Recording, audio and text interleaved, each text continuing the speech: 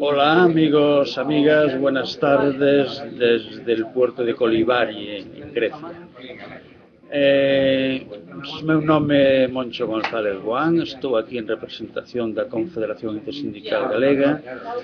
facendo parte desta fermosísima campaña política e humanitaria, pero tamén política, que pretende romper o criminal bloqueo israelí contra Grecia, contra Palestina en concreto contra a Franxa de Gaza, pero non hai que esquecer de que toda Palestina, tamén a Cisjordania, está sometida a ese criminal bloqueo, que é unha acción dunha importancia política extraordinaria. É unha acción que puxo de novo en todos os medios falados, escritos, audiovisuais ou polo menos en moitos medios do mundo,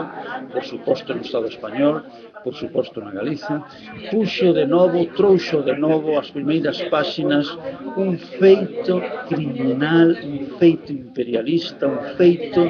que non pode ser admitido por ninguna persoa individualmente, nin Estado, que se reclame ou que se proclame a sí mismo xa non como progresista, xa solo como demócrata.